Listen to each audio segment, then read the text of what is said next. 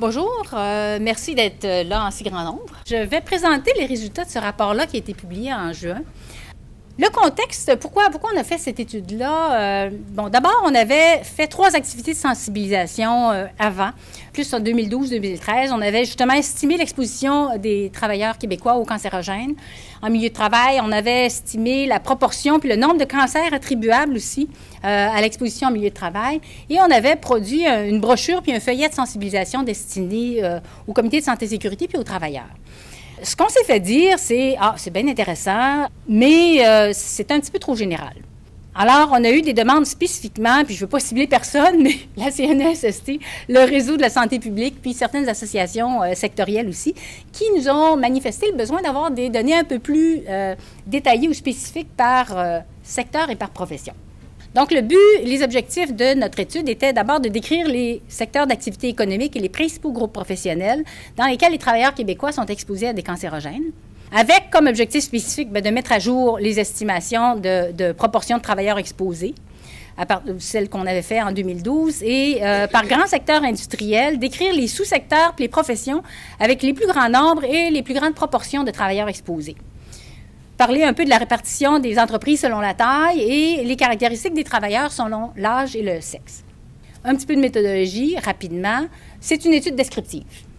Euh, on a utilisé cinq sources de données pour euh, essayer de retracer combien ou la proportion des travailleurs et le nombre de travailleurs qui pouvaient être exposés à des cancérogènes. Donc, deux enquêtes transversales québécoises. Euh, l'enquête québécoise sur la santé des populations.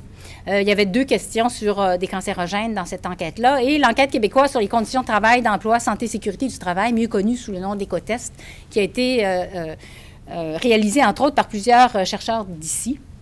Le projet CAREX Canada, qui est un projet d'estimation de l'exposition de la population euh, générale et des travailleurs à des cancérogènes, qui a été euh, initié par l'Université de, Colombie-Britannique et maintenant a été reprise par euh, Simon Fraser en Colombie-Britannique. L'enquête, il y a des données d'enquête française sumaire qui nous ont été. on a fait une demande d'accès aux données pour quelques substances pour lesquelles on n'arrivait pas à avoir des données plus canadienne ou québécoise, et un projet de matrice emploi-exposition en population générale, MATGENE, qui, euh, qui a été développé par l'Institut de veille sanitaire en France encore, pour compléter euh, le nombre de cancérogènes. Alors, comment on a sélectionné les cancérogènes? On a regardé dans le RSST, on a choisi les, toutes tout cancérogène qui était cancérogène démontré chez l'humain ou l'animal ou soupçonné chez l'humain. Et on a regardé aussi la liste de cancérogènes euh, qui est publiée par le Centre international de recherche sur le cancer et on a euh, conservé ceux qui sont ce qu'on appelle le groupe 1, groupe 2A, c'est-à-dire les cancérogènes avérés ou certains et les cancérogènes probables. Ça nous a donné 41 cancérogènes pour lesquels on a réussi à avoir des données euh, dans les différentes sources dont je vous ai parlé auparavant. Alors, les calculs qu'on a effectués, qui sont relativement simples en termes de calcul, mais qui sont énormes parce qu'il y a beaucoup de gens, beaucoup de secteurs d'activité, beaucoup de, professions. On a calculé donc les proportions d'exposition qu'on a réussi à produire par industrie et profession. Et on les a appliquées aux données de main-d'œuvre tirées de l'enquête nationale auprès des ménages. C'était l'équivalent du recensement euh, canadien, avec un ajustement pour les fluctuations euh, mensuelles d'emploi. Alors, on a produit un rapport et un document annexe des fiches par grand secteur d'activité. Les résultats euh, sur les expositions les plus fréquentes, alors ce que vous voyez ici, c'est des types d'expositions de cancérogènes auxquels plus de 50 000 travailleurs québécois seraient exposés. Vous voyez que le travail de nuit est, un bon gagnant avec euh, à peu près 500 000 travailleurs euh, exposés. Rayonnement solaire, émissions de moteurs diesel, les huiles minérales, benzène, euh, hydrocarbures aromatiques euh, polycycliques, HAP, silice cristalline, poussière de bois, plomb. Donc, pour ces, contaminants-là, on considère qu'il y a plus de 50 000 travailleurs euh, québécois exposés. Maintenant, il y a des expositions multiples. là, ce que vous voyez ici, c'est différents secteurs d'activité où il y a plusieurs expositions. C'est-à-dire que ça ne veut pas dire que tous les gens ou tous les travailleurs de chacun de ces secteurs-là sont exposés à par exemple, plus de 25 euh, substances cancérogènes. Ça, c'est le nombre potentiel de cancérogènes. Alors, vous voyez jusqu'à 25 ici, donc il y en a un petit peu plus ici. Alors, on a une quinzaine de secteurs d'activité, surtout dans la fabrication, secteur de la fabrication. Euh, mais aussi euh, dans, le, par exemple, l'impression, les activités connexes, production de pétrole, etc. Réparation, entretien ont quand même beaucoup de, potentiellement, de cancérogènes auxquels sont exposés les travailleurs. Maintenant, exposition multiple, si on veut essayer de les voir par grand secteur. ce que je vous ai mis ici, on a encore toujours le nombre de cancérogènes potentiels. Ce que vous avez à droite, ce sont euh, différents grands secteurs qu'on avait vus dans la, diapo précédente où il y a plusieurs expositions multiples. Ce que je veux surtout vous montrer, c'est que, ça c'est les, différentes professions à l'intérieur des, différents, des différentes industries. Ce que je veux surtout, je veux surtout attirer votre attention sur le fait que les gens qui reviennent souvent avec une exposition multiple, ce sont les manœuvres et puis, la deuxième profession qui revenait souvent, ce sont les, soudeurs et opérateurs de machines à souder. ça, c'était vraiment frappant dans tous ces, secteurs d'activité-là. Donc, ce sont les, deux grands titres d'emploi qu'on a considérés comme étant très exposés à de multiples euh, cancérogènes en même temps, de façon concomitante. Les autres données que je vous présente rapidement, euh, pour le sexe, ben, les femmes sont en grand nombre dans les soins de santé et euh, assistance sociale, sont exposés surtout rayonnement ionisant, travail de nuit, rayonnement UV, ultraviolet, pardon, artificiel, rayonnement solaire aussi. Les hommes euh, dans les secteurs agriculture, foresterie, pêche, chasse, euh, extraction minière de pétrole, de gaz aussi, construction, fabrication beaucoup, transport et entreposage, où il y a des expositions importantes et multiples. Rayonnement solaire, poussière de bois. Vous voyez que ce n'est pas tout à fait les mêmes cancérogènes que, euh, que les femmes, euh, mais il y a quand même le travail de nuit. Exposition à la silice, euh, beaucoup plus importante chez les hommes. Émission de moteur diesel aussi beaucoup plus importante chez les hommes. plomb. On a regardé aussi les petits emplacements, ou les petits, ce qu'on a appelé emplacements, c'est les endroits de travail, c'est-à-dire que on a une entreprise qui peut avoir, comme par exemple Couchetard, plusieurs emplacements de travail euh, différents, ou encore vous avez euh, un CLSC qui va avoir euh, des, espèces de points de service à différents endroits. Alors, ce qu'on appelle emplacement, c'est chaque unité de, travail. Alors, les petits emplacements de moins de, 20 travailleurs, il y en a surtout dans ces secteurs-là, donc agriculture, foresterie, pêche et chasse. En construction, il y a beaucoup de petits employeurs. Dans les entreprises d'immobilier, location, aussi dans les services professionnels, scientifiques, techniques, beaucoup de petits établissements. Ces gens-là sont exposés au rayonnement solaire, au travail de nuit, mais un petit peu moins, aux émissions de moteurs diesel, beaucoup, beaucoup de livraisons, souvent dans ces entreprises-là. Poussière de bois, rayonnement ionisant aussi. Je termine avec l'âge. Les jeunes travailleurs euh, qu'on considère, on a considéré jeunes travailleurs 15 à, 24 ans.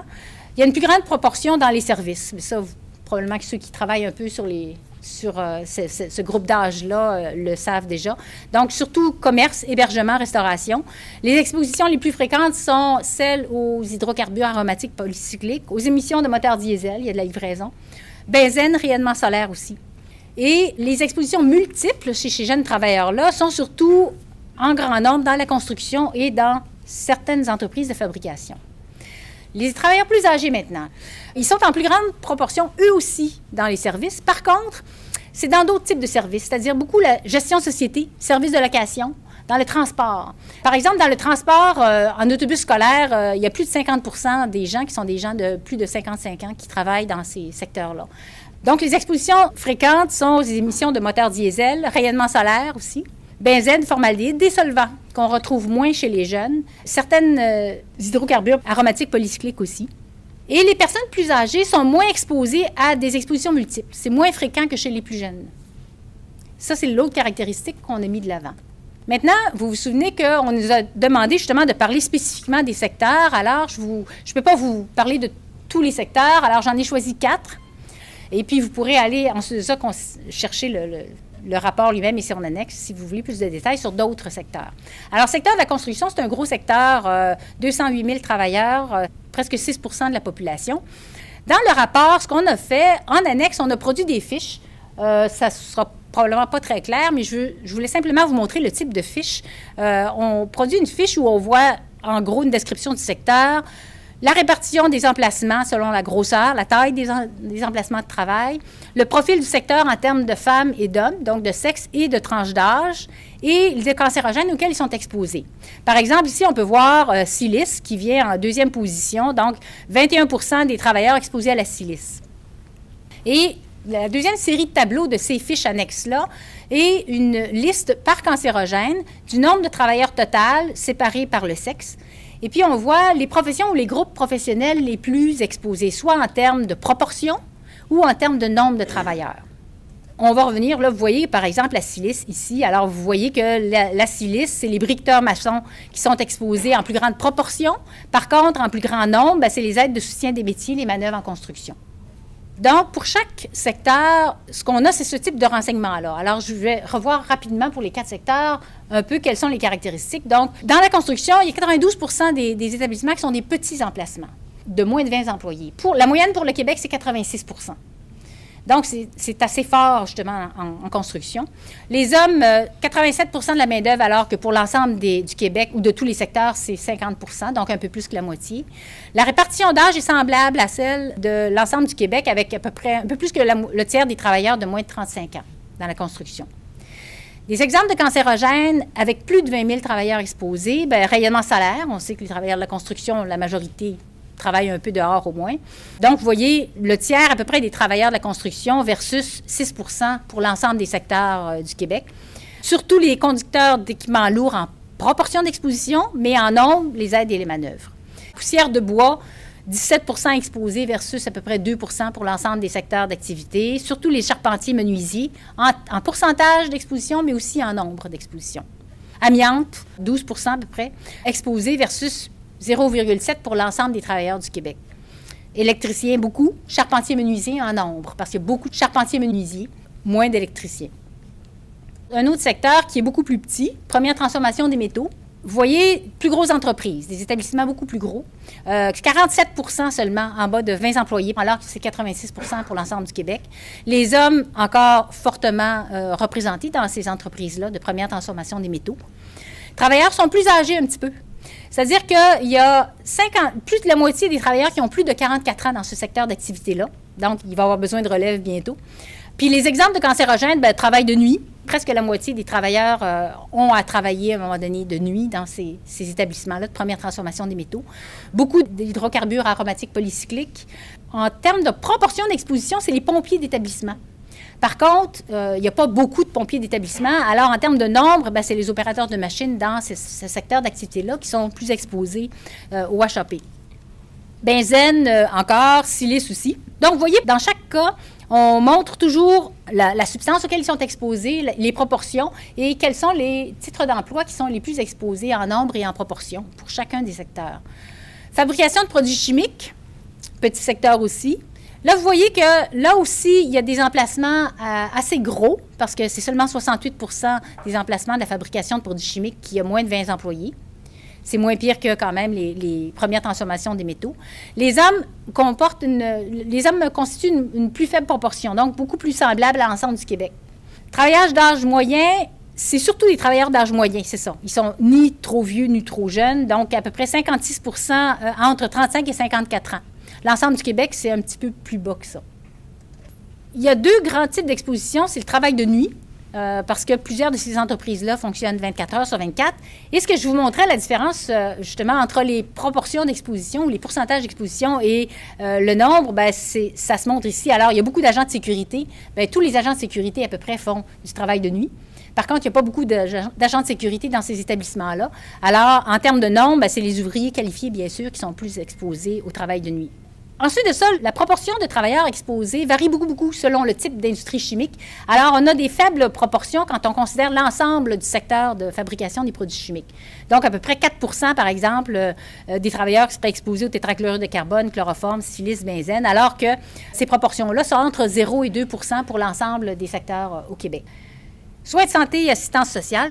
Là encore, 84% euh, des emplacements du secteur ont moins de 20 employés vous vous rendez compte que c'est sûr que les soins de santé assistance sociale, c'est pas seulement les hôpitaux, bien sûr. Alors, il y a beaucoup, beaucoup de petites entreprises. Il y a plus de petites entreprises sans être autant que, l'ensemble du Québec, mais presque.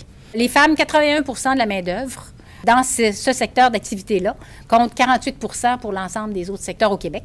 Il y a une plus faible proportion de jeunes travailleurs, c'est-à-dire qu'il y a 28 et 9% en bas de 24 ans, alors que la moyenne québécoise est à 14 les exemples euh, de cancérogènes en plus forte proportion que d'autres secteurs sont le travail de nuit. Par contre, c'est pas énormément plus gros, mais un petit peu plus. Parce que le nombre de personnes dans, dans la majorité de ces secteurs-là, si on, si on avait regardé seulement les hôpitaux, bien, la proportion serait beaucoup plus élevée, plus aux, alentours d'à peu près 30% Alors que si on pense au salon de, je ne sais pas moi, au, au, euh, au, bureau de dentiste, par exemple, à tous les autres, euh, les autres établissements de soins de santé, bien, la majorité sont des, sont des établissements de, de jour seulement.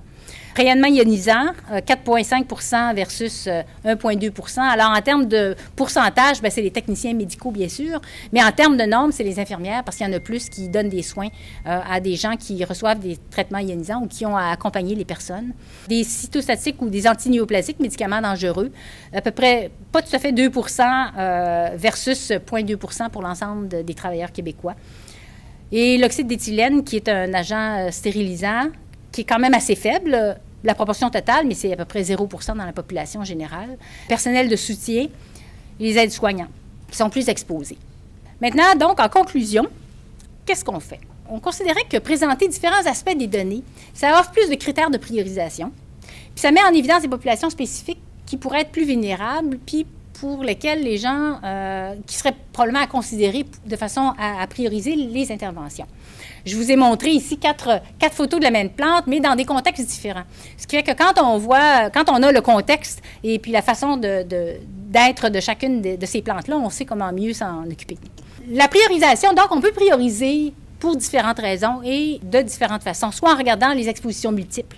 Dans quelles industries, dans quelles professions elles sont plus prévalentes. Les industries, c'est bien sûr que les gens qui travaillent dans une industrie donnée sont intéressés à leur industrie. Euh, on sait que pour l'ensemble des industries, bien, fabrication de produits chimiques, produits métalliques, produits plastiques, il y a beaucoup d'expositions. Dans la construction, les réparations, entretien aussi. Les professions, pour les secteurs euh, professionnels, les écoles de métiers, c'est important de savoir quelles sont les professions les plus à risque. Les petits, très petits établissements, ces établissements-là, il y en a dans tous les secteurs, en proportions différentes, bien sûr, mais il y en a plus dans certains secteurs. Toutes les professions, il y a de tout, tout ce qu'on toutes les professions qu'on peut retrouver dans ces petits et très petits établissements-là. Il y a des expositions multiples quand même, peut-être un petit peu moins que l'ensemble des, plus gros établissements, mais quand même, il y en a. Puis ce qui est important, c'est qu'il manque beaucoup de ressources internes pour gérer justement l'exposition aux cancérogènes. Alors les défis, ben, c'est le transfert de connaissances en ciblant des utilisateurs de connaissances spécifiques. J'ai listé quelques partenaires qui, justement, peuvent être particulièrement intéressés puis auxquels c'est important de, donner de l'information.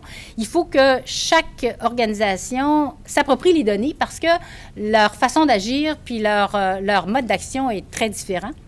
Goethe a dit Savoir n'est pas suffisant, nous devons appliquer. Vouloir ne suffit pas, il faut agir. Alors, j'espère que vous allez pouvoir utiliser nos données pour, pour agir euh, contre les cancers contre les cancérogènes pardon, professionnels. Merci de votre attention.